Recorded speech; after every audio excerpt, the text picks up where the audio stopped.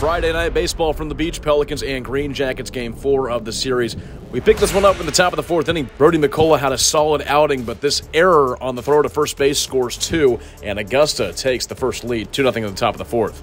First pitch in the bottom of the fifth, Christian Hernandez, a line drive to right center field. He would start off on third base with a triple, and then one pitch later, Reivaj Garcia, a single into left field, scores Hernandez. Pelicans on the board later on in the inning. Felix Stevens draws a bases loaded walk, and this game was tied 2 2 in the fifth. Augusta responds quickly in the top of the sixth. Justin Janis with a single into center field scores the run.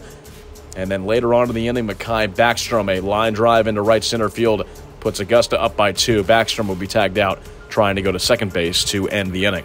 Kevin Valdez threw three shutout innings on the mound to strike out here. And then in the ninth inning, Parker Chavers, a diving catch for the first out of the frame, but Chavers would strike out with the bases loaded. Pelicans lose 4 to 3 on Friday night, game five of the series on Saturday at 6.05.